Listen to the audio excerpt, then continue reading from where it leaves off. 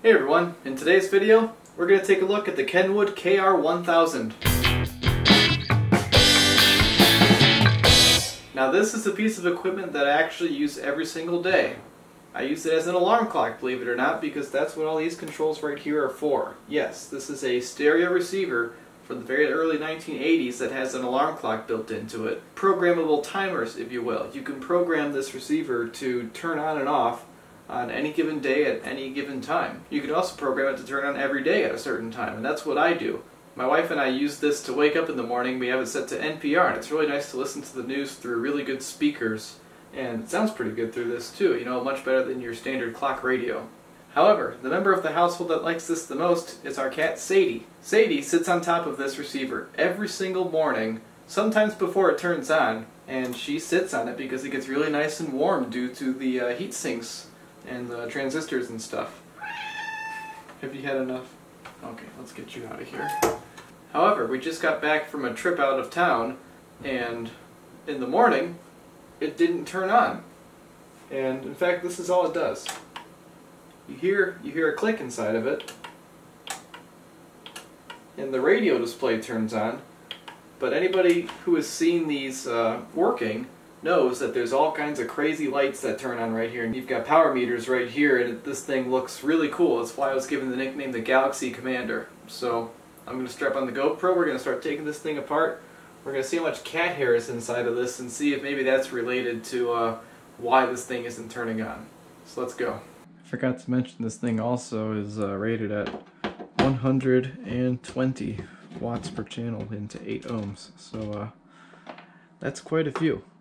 I've had this apart in the past, actually. I took it apart when I first got it years ago because the, uh, the vacuum fluorescent displays would uh, just kind of go in and out. And if you like pushed down on the receiver, like right around here, if you pushed down, it would actually make the displays turn back on. And uh, what that ended up being was uh, cold solder joints on the circuit board where the display attaches because these displays run pretty hot as uh, most vacuum fluorescents do and uh, the solder just wasn't up to the task after uh, uh 35 years at that point. So now this thing is 40 years old and uh, it's impressive it works as well as it does given the uh, complexity but we'll see what's going on here. Okay. Oh yeah, yep, that is that is pretty bad.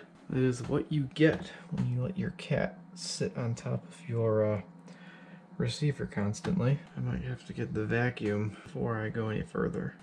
I talked to my friend who has had a few of these and he said there's some fuses coming right off the transformer. That's where I'm going to start. I see them right in there. What I see is three perfectly good fuses. So, uh, sounds like this is going to be a little more complicated than I want it to be. Okay, well, off camera, I got this thing apart a little bit further. Just took some of the panels off, including the, uh, the bottom panel. I was just checking for power off of the transformer, looking at all that stuff, and then I was kind of looking closely right here, and, uh, well, I found this right here. That is, uh, you know, not right. And, uh, I'm not sure what caused it yet. Um, I might resolder that and uh, put it on the dim bulb tester and see what happens. But uh, I think I've found uh, where the problem starts here. Uh, that right there is actually basically right off of the uh, the wall outlet. So yeah, so I've got this thing just laying around. I bought somebody's stash of random parts one day back in the day, and uh, all I'm gonna do is I'm just gonna cut a lead off of it, and uh, I'll put a nice little bend in it. I can put it on there. Looks pretty okay. I think I cut off like half a centimeter or so. Try that again. That's pretty good. And now, what I can do is, uh, like I said, get very ugly with it. So what I can do now is I'll solder this to the joint here, or the, uh, the post in the PCB. Guess we have solder on there. And now, here's where it gets ugly. We solder it to this pad right here.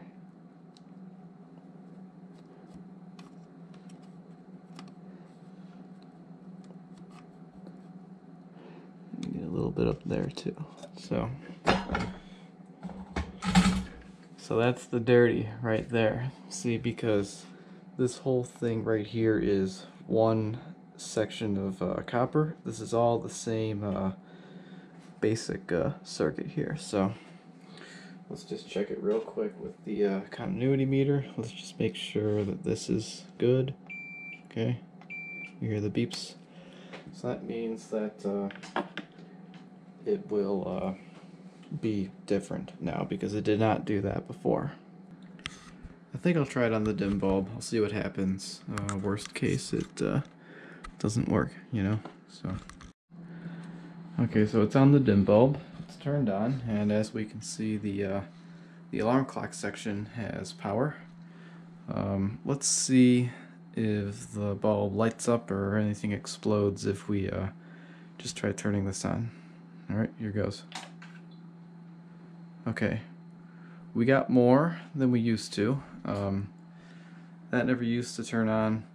We have some stuff here, which is good. You know, these things uh, do draw some current, so the fact that it's not a bright bulb is good. These are lit up very dimly, and I've heard the speaker relay barely click in, so I think I'm comfortable um, trying this out on wall power. So let's see what happens when we do that.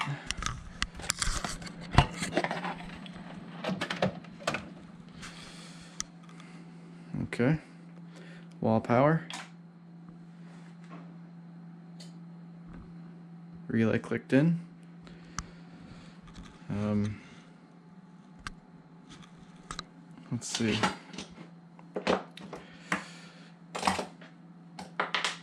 Is there any smoke? I don't see any smoke. Hmm, I might have fixed it. Okay, I hooked up speakers. Um, this is uh, still not making burning smells. Let's make sure the volume's down. Speakers are on.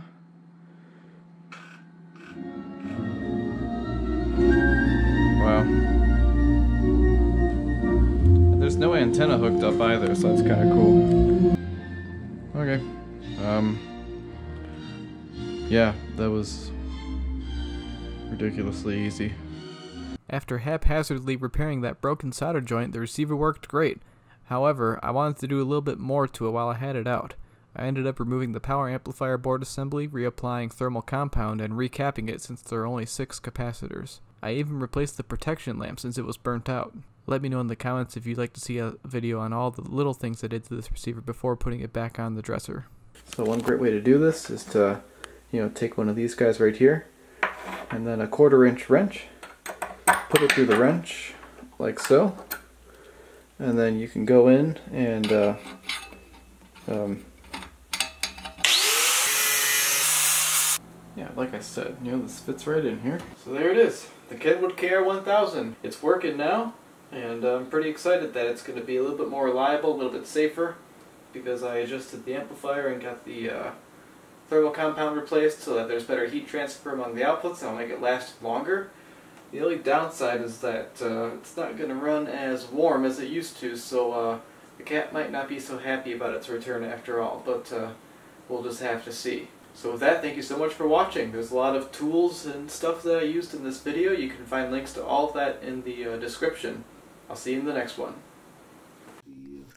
Well, guess who jumped up here?